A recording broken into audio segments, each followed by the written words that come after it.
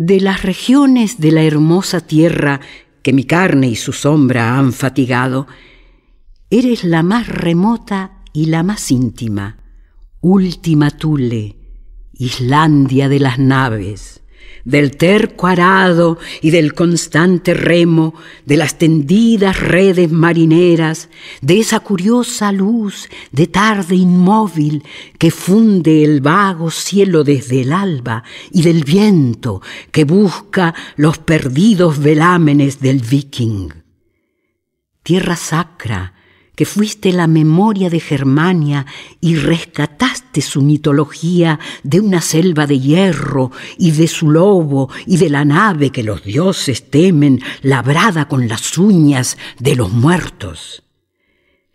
Islandia, te he soñado largamente desde aquella mañana en que mi padre le dio al niño que he sido y que no ha muerto una versión de la Volsunga saga que ahora está descifrando mi penumbra con la ayuda del lento diccionario.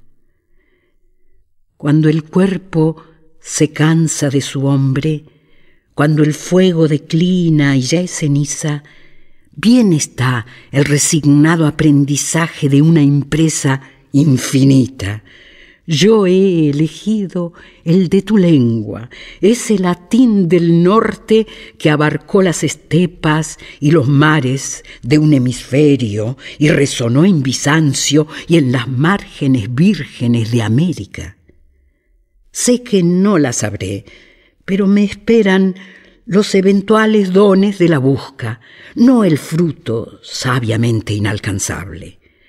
Lo mismo sentirán quienes indagan los astros o la serie de los números. Solo el amor, el ignorante amor. Islandia.